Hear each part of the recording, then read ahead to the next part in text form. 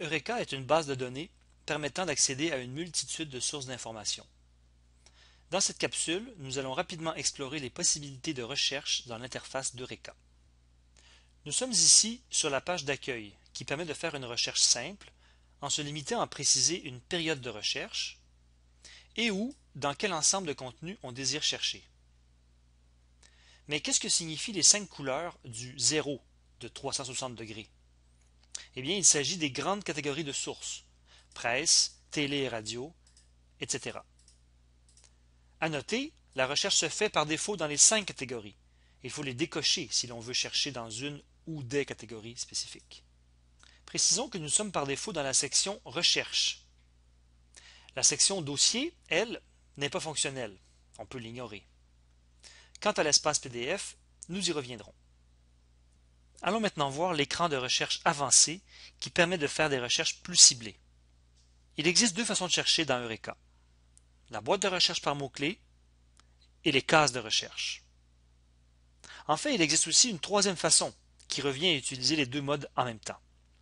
La première façon, l'utilisation de la boîte de mots-clés, demande l'utilisation d'une certaine syntaxe de recherche pour lier les termes entre eux.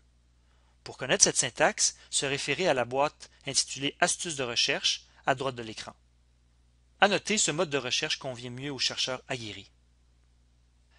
La seconde façon de chercher est un peu plus facile d'accès, car elle ressemble au mode de recherche classique de la plupart des bases de données. Des cases reliées entre elles par des opérateurs booléens comme et, ou et sans. Par défaut, on dispose de trois cases, mais il est possible d'en ajouter. Pour chercher, il suffit d'inscrire le ou les termes qui nous intéressent, de les relier entre eux par l'opérateur approprié, et enfin de limiter la recherche à une section particulière du texte. Pour la recherche dans les sources d'actualité, les plus utiles sont tout le texte, introduction, ce qui correspond aux deux premiers paragraphes, titre et auteur.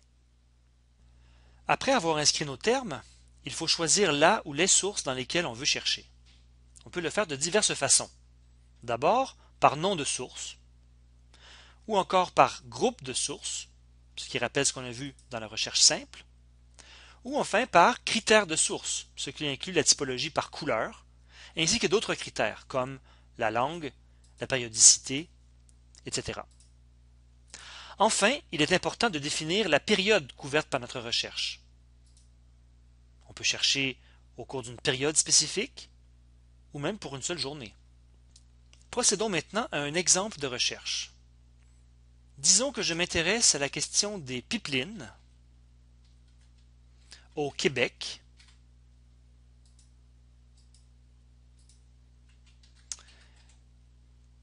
Donc des articles publiés dans le journal Le Devoir paru au cours du mois d'avril 2015.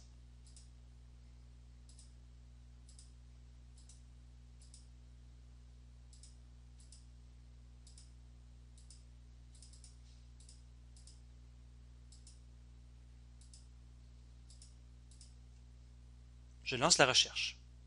Nous voici sur la page des résultats qu'on peut trier de diverses manières.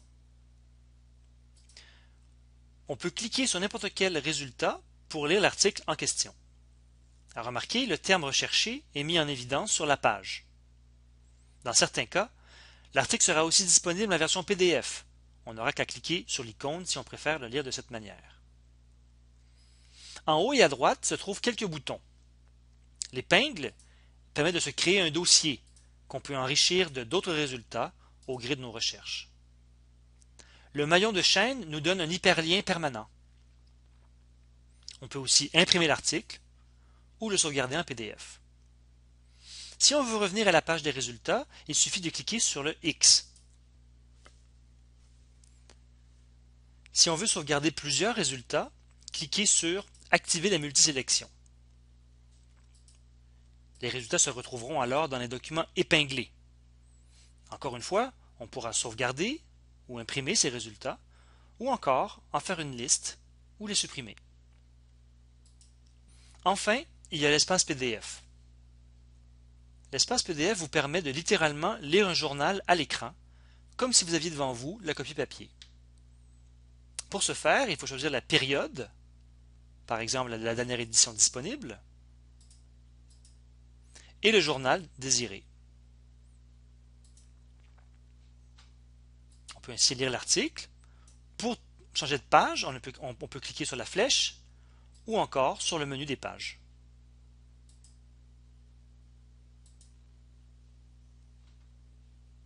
Bonne exploration